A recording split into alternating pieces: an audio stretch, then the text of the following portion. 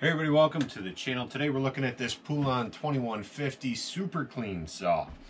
Um, working on this saw, we're going to have a few different videos with this unit. I'm going to have a full playlist specifically for the Poulan 2150 Super Clean, okay? We've got our Poulan Predator that we've did a little port work and built a custom muffler for. Um, today we're going to be tearing this down, cleaning it up, and we'll be doing another video doing the port work. We'll do a video making a custom exhaust, and then we'll do a video doing full assembly once we're done. So if you're looking to take one of these apart, hopefully I'll be able to walk you right through the steps on how to do that. If you want to try to do some of the other stuff, I'll have tools and parts in the description of the video below. You guys shop those links, they support the channel, and uh, I appreciate it. So if you're here and you're looking forward to this series, give me a thumbs up, leave me a comment. Don't forget to hit subscribe hit the bell, hit all, so you guys don't miss future uploads. And with that, let's get started. All right, guys, so I've already got the bar and chain off, got that cover off. Um, you're gonna need a T, what is this, T25, your scrench to remove those things. You're gonna need an eight millimeter socket. I've got some T-wrenches. I, I like this setup much better than a socket wrench for working on the saws. Like this setup, T-wrench as well for taking things apart. So again, those will be in the description, guys. Let's get this cover off though. We gotta get this thing cleaned up. This saw is a mess. I got a video uh, just put up. We put new gas lines, new filters, new carburetor, all from Amazon. I'll have that link below as well, but that video should be popping up here if you want to go back check that out. First one in the series. The whole point of it really was just to make sure the saw is going to run um, before we did too much else with it. So right now it does run. Runs okay. I've had saws run much better, but whatever. We'll take it for what it is. So removing that cover first. Next we're to get in, I'm to remove this carburetor. Um, that's to be the two bolts right here. I'll bring you, come on, get a little closer. Bring you guys in close. Once our cover's off, filters aside,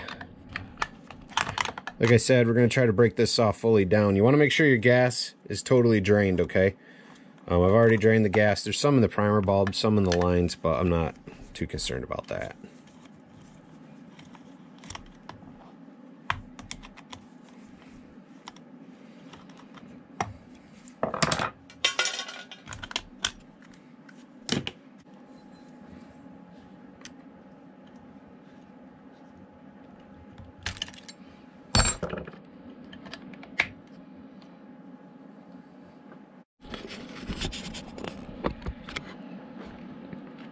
Got to remove that throttle linkage.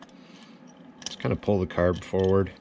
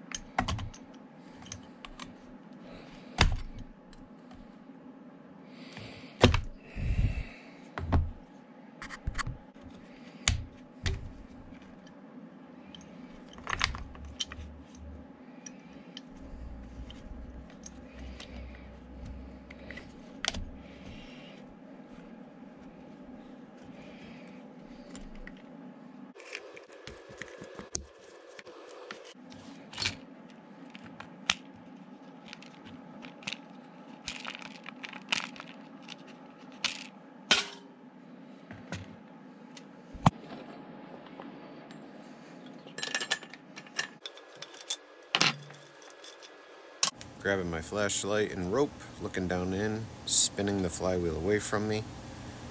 We're to watch the piston come all the way up, and we'll back it off a little bit. We don't want to open up the exhaust port though, right? So see how it's moving in there? So we'll be able to bring it up, bring it down just a little bit, stuff the rope in there, then you'll twist it forward again. It'll hold everything tight. This way you'll be able to undo the nut for the flywheel and you'll be able to get your sprocket off as well while the piston is stopped on the rope.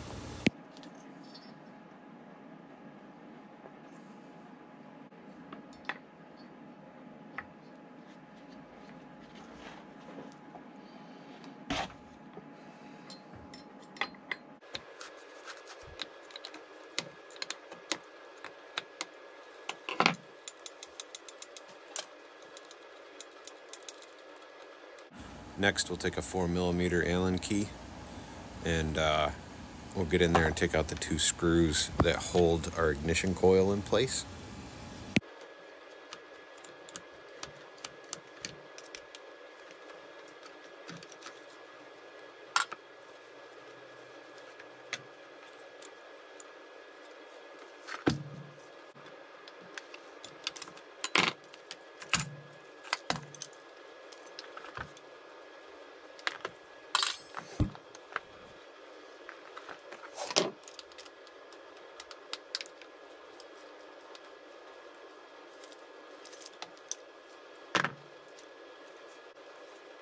Getting ready to remove that flywheel, we got to put the original nut back on.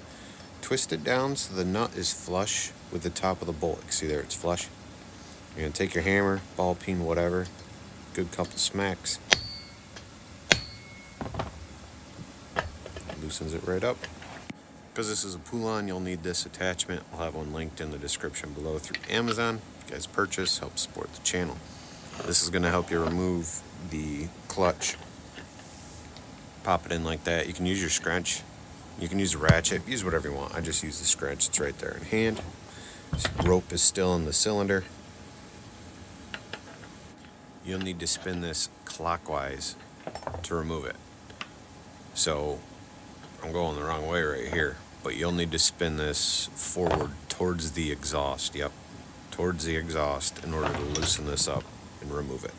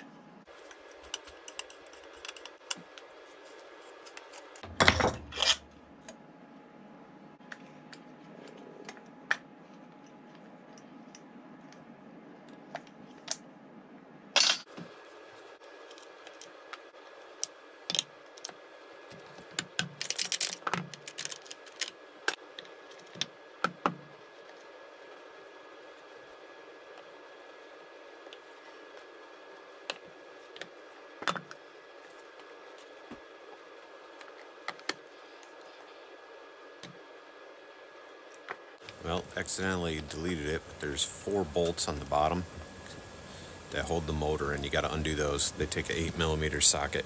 Then this will come right out like that.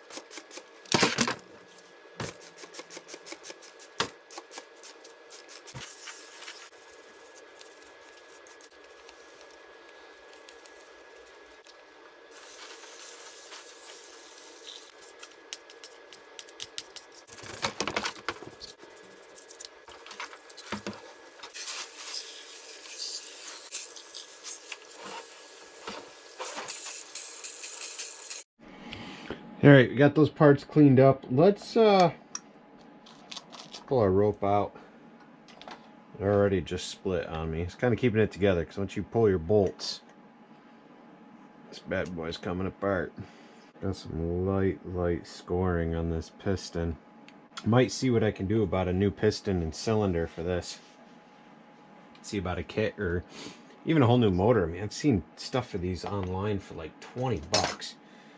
I mean, some people would say, why waste your time? Well, to practice porting and stuff on a motor for 20 bucks, to me, that's worth it. This is this is just practice before I get into the Stihl units that I have. And uh, I don't I don't mind practicing, you know. I have to see what I can find online. Just look gonna probably be looking for something cheap, something I can just hog out and stick back together, you know, run it The only bummer is, I'm not, I don't think I'm going to assemble the whole thing with with the new motor per se that I'm looking at or I'll be thinking about getting, you know. I may end up just uh, just buying it, farting around with it, and going from there. I need a new gasket for this anyway, it looks like. That one didn't want to let go. So, if you've made it this far, congratulations. It's kind of a longer video, I guess, but I appreciate you watching. Appreciate you guys viewing and hitting subscribe. If anybody wants to buy me a coffee, feel free to hit that join tab.